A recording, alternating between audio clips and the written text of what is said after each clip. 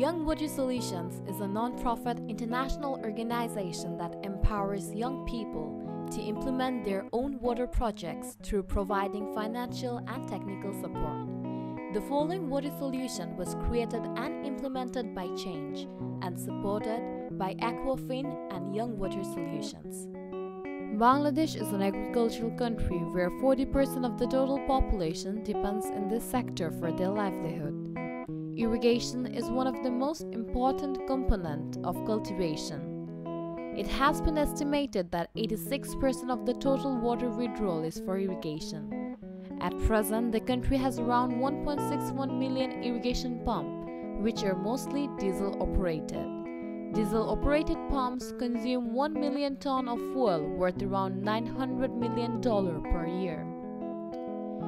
Increasing fuel costs became a nightmare and one of the major challenges for the farmers. So there is a huge potentiality to promote and localize solar irrigation pump and ensure affordable irrigation facility to boost agricultural production. So we're trying to come up with solar irrigation facilities targeting the substitute of traditional small scheme technologies. We develop an affordable system for farmers, those who have smaller pieces of lands.